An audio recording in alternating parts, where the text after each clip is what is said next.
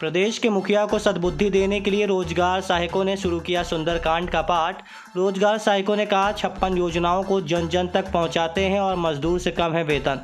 प्रदेश सहित रीवा ज़िले में एक के बाद एक विभाग अपनी मांगों को लेकर आंदोलन प्रदर्शन कर रहा है।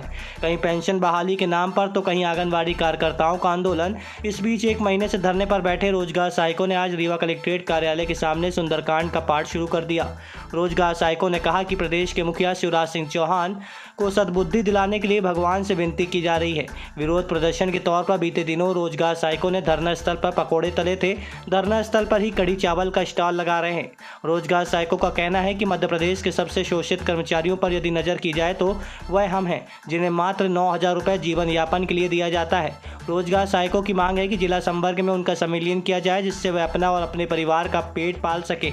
आज किस तरीके का विरोध जताया जा रहा है? हम लोग तेरह तारीख से अवकाश पे तेरह तारीख से गए थे।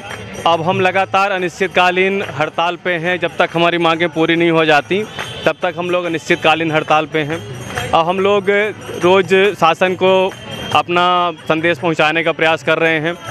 वर्तमान में पिछले दिनों हमने बेरोजगारी के उस पर चल रहे हैं। एक महीने का वेतन कट गया है, पकौड़ा तला हमने। अब शासन को सद्बुद्धि प्रदान करने के लिए यहाँ पर सुंदरकांड का पाठ चल रहा है।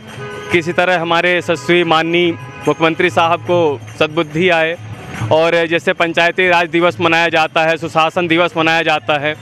पर क्या ऐसा सुशासन है कि पंचायती राज का एक बहुमूल्य घटक हम लोग कर्मचारी उसके एक महीने से ज़्यादा हो गया है, हड़ताल पर हैं, वेतन कट रहा है, लेकिन हमारी सुन नहीं रहे हैं। इस धूप पे, इस कड़कड़ाती धूप पे हम लोग बैठे हुए हैं हड़ताल पे।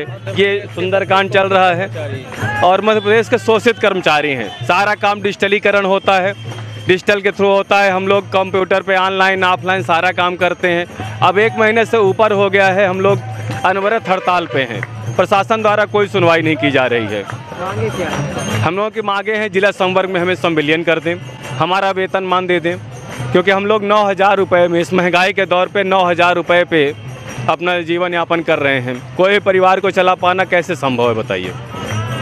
अभी जैसे अब सरकार पे भरोसा खत्म हो गया है माना गया सुंदरकांड के बाद। सरकार द्वारा आश्वासन दिया जा रहा है आठ साल से हम लोगों का एक रुपये वेतन नहीं बढ़ा।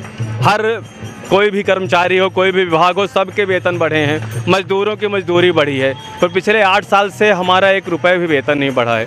आश्वासन मिलते जा रहे हैं, माननीय मामा जी कहते जा रहे हैं कि बहुत अच्छा हो रहा है। तो अच्छा देखते देखते तो आठ साल बीत गए। तो हम लोगों का विश्वास कैसे न डगमगाए? कोई भी हो, कितने दिन विश्वास कर सकता है, कितने महीने कर सकता है, कितने साल कर सकता है। अब आठ साल से एक रुपये भी नहीं बढ़ा है। ये आक्रोश है। हम लोग काम करने वाले हम लोग इच्छा से नहीं बैठे हुए हैं। खुशी खुशियों से बैठे हुए हैं। हमारी मजबूरी है। वेतन कट रहा है। एक एक रुपए को मोहताज हो रहे हैं। वेतन कट गया पर हम लोग अब बैठे हैं हड़ताल पे। क्योंकि नौ हज़ार गुजारा तो हो नहीं रहा।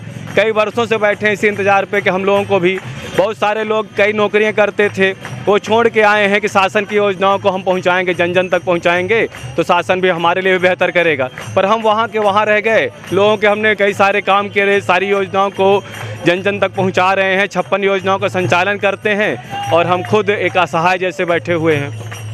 इसलिए आज सुंदरकांड का पाठ इसलिए आज सुंदरकांड का पाठ है कि हनुमान जी माननीय हमारे यशस्वी मामा जी पूरे प्रदेश के मामा जी को सद्बुद्धि दें और हमारा भला हो सके। अभी चौबीस तारीख को नरेंद्र मोदी जी भी आ रहे हैं। जी। उस कहीं आप लोग अपना ज्ञापन वगैरह प्रयास रहेगा अगर वहाँ तक मिलने का मौका मिला तो। पंचायती राज दिवस है और पंचायती राज का क्या हाल चल रहा है आप खुद देख सकते हैं। शुभ नाम आपका। अमित प्रभाव पांडे रीवा जनपद।